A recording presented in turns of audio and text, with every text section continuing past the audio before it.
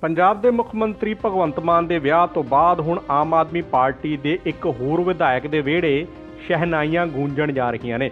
ਦੱਸਿਆ ਜਾ ਰਿਹਾ ਹੈ ਕਿ ਇਸ ਵਿਆਹ 'ਚ ਮੁੱਖ ਮੰਤਰੀ ਭਗਵੰਤ ਮਾਨ ਉਚੇਚੇ ਤੌਰ ਤੇ ਸ਼ਾਮਲ ਹੋਣ ਜਾ ਰਹੇ ਨੇ।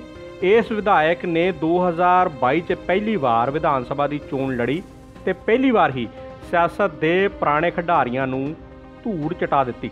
ਉਹਨਾਂ ਦਾ ਮੁਕਾਬਲਾ ਕਾਂਗਰਸ ਦੇ ਸਿਰ ਕੱਢਵੇਂ ਆਗੂ ਵਿਜੇ ਇੰਦਰ ਸਿੰਗਲਾ, ਭਾਜਪਾ ਦੇ ਅਸ਼ਵਿਨੀ ਸ਼ਰਮਾ ਤੇ ਅਕਾਲੀ ਦਲ ਦੇ ਵਿਰਨਜੀਤ ਸਿੰਘ ਗੋਲਡੀ ਨਾਲ ਸੀ। ਇਹਨਾਂ ਸਾਰਿਆਂ ਨੂੰ ਪਛਾੜਦੇ ਹੋਏ ਉਹਨਾਂ ਵੱਡੀ ਲੀਡ ਨਾਲ ਚੋਣ ਜਿੱਤੀ। ਉਹਨਾਂ ਨੇ ਆਪਣਾ ਨਾਮਜ਼ਦਗੀ ਪੱਤਰ ਵੀ ਸਕੂਟਰੀ ਤੇ ਜਾ ਕੇ ਭਰਿਆ ਸੀ। ਜਿਸ ਸਮੇਂ ਉਹਨਾਂ ਦੇ ਮਾਤਾ ਵੀ ਉਹਨਾਂ ਦੇ ਨਾਲ ਗਏ ਸਨ। ਅਸੀਂ ਗੱਲ ਕਰ ਰਹੇ ਹਾਂ ਸੰਗਰੂਰ ਵਿਧਾਨ ਸਭਾ ਹਲਕੇ ਤੋਂ ਵਿਧਾਇਕਾ ਨਰਿੰਦਰ ਕੌਰ ਭਰਾਜ ਦੀ। ਜੋ ਕਿ ਕੱਲ ਯਾਨੀ ਕਿ 7 ਅਕਤੂਬਰ ਨੂੰ ਵਿਆਹ ਕਰਾਉਣ ਜਾ ਰਹੇ ਨੇ। ਸਭ ਤੋਂ ਛੋਟੀ ਉਮਰ ਦੇ ਐਮਐਲਏ 28 ਸਾਲ ਦੇ ਨਰਿੰਦਰ ਕੌਰ ਭਰਾਜ 29 ਸਾਲਾ ਪਟਿਆਲਾ ਦੇ ਨੌਜਵਾਨ ਨਾਲ ਵਿਆਹ ਰਚਾਉਣ ਜਾ ਰਹੇ ਨੇ। ਉਹਨਾਂ ਦੇ ਜੀਵਨ ਸਾਥੀ ਇੱਕ ਆਮ ਕਿਸਾਨ ਪਰਿਵਾਰ ਨਾਲ ਸਬੰਧ ਰੱਖਦੇ ਨੇ ਤੇ ਅੱਜ ਕੱਲ ਪਟਿਆਲਾ ਵਿਖੇ ਰਹਿ ਰਹੇ ਨੇ। ਸਿਆਸਤ 'ਚ ਆਉਣ ਤੋਂ ਪਹਿਲਾਂ ਨਰਿੰਦਰ ਕੌਰ ਭਰਾਜ ਨੂੰ ਜ਼ਿੰਦਗੀ 'ਚ ਕਾਫੀ ਸੰਘਰਸ਼ ਕਰਨਾ ਪਿਆ। ਭਰਾਜ ਇੱਕ ਸਧਾਰਨ ਪਰਿਵਾਰ ਨਾਲ ਸੰਬੰਧ ਰੱਖਦੇ ਨੇ।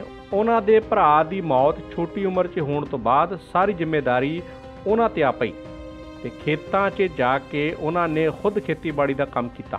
ਭਰਾਜ ਨੇ 2014 'ਚ ਆਮ ਆਦਮੀ ਪਾਰਟੀ 'ਚ ਸ਼ਮੂਲੀਅਤ ਕੀਤੀ ਸੀ ਅਤੇ ਇਕੱਲਿਆਂ ਹੀ ਸੰਗਰੂਰ ਜ਼ਿਲ੍ਹੇ 'ਚ ਆਮ ਆਦਮੀ ਪਾਰਟੀ ਦਾ ਬੂਥ ਲਗਾਇਆ ਸੀ। ਉਸ ਵੇਲੇ ਕੋਈ ਵੀ ਆਪ ਦਾ ਬੂਥ ਲਿਖਾਉਣ ਲਈ ਅੱਗੇ ਨਹੀਂ ਸੀ ਆਇਆ।